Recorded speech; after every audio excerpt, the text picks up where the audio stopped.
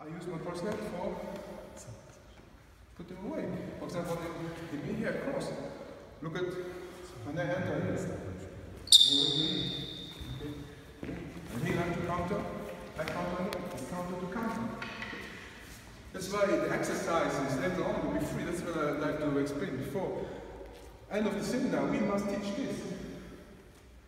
To people show, okay, we do different things. If you feel here, look at the have my arm here. What I do, I move. Okay. I'm trying to Like I say, he's bigger than me, so I'm not able to use But uh, he's big, but he's adapting himself. Yeah, yeah, Like he's saying. I feel he come in. I feel he come in. When I stay, he is in. Okay? But when he like to go in, I feel it. I make my footwork. I learn footwork. And I can go. Okay? Use also my, my cross leg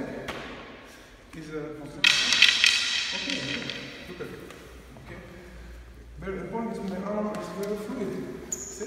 Like my stick. Yeah. Every.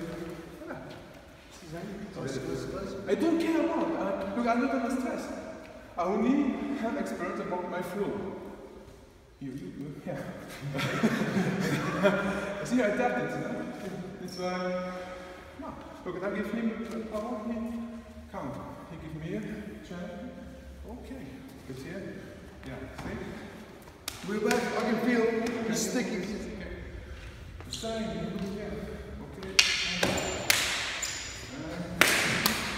And, okay. We use the example.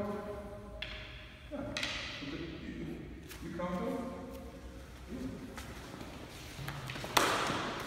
Okay. Okay. On okay.